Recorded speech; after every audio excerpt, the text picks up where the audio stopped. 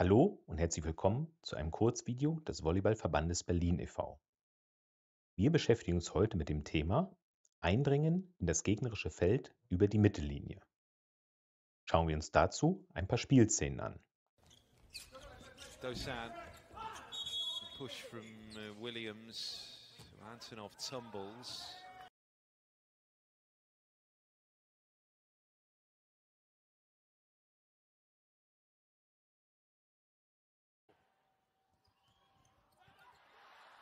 Oh, well, that's a shame. Uh, Smith, it wasn't who had the pipe attack.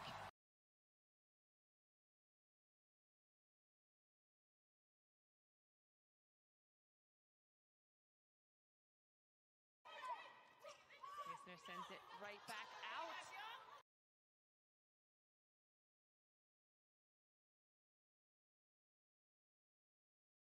Was schreibt das Volleyball-Regelwerk dazu? Eindringen unterhalb des Netzes. Die Berührung des gegnerischen Feldes mit einem Fuß oder beiden Füßen ist gestattet, wenn ein Teil des übertretenen Fußes sich auf der Mittellinie oder direkt über ihr befindet und diese Aktion das gegnerische Spiel nicht beeinflusst. Im Umkehrschluss bedeutet dies, sobald ich das gegnerische Feld über die Mittellinie mit dem gesamten Fuß betrete, begehe ich einen Fehler.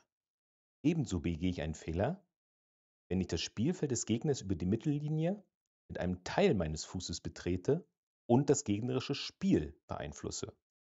Einen solchen Fall haben wir in der ersten Spielszene gesehen.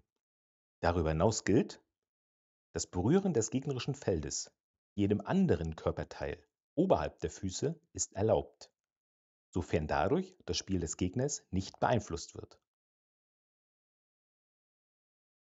Mit welchem Schiedsrichterhandzeichen wird der Fehler angezeigt? Auf die Mittellinie zeigen. Die Beurteilung und das Anzeigen dieses Fehlers liegt im Zuständigkeitsbereich des zweiten Schiedsrichters. Hier sehen wir ein Ausführungsbeispiel dazu.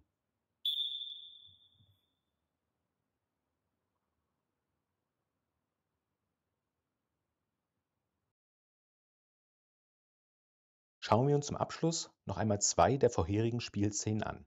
Achtet auf die Handzeichen der Schiedsrichter.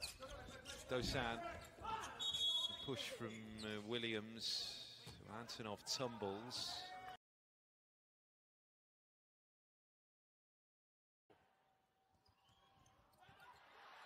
Oh, well, that's a shame. Uh, Smith, it wasn't who had the pipe attack. Damit ist dieses Kurzvideo beendet. Wir danken für eure Aufmerksamkeit.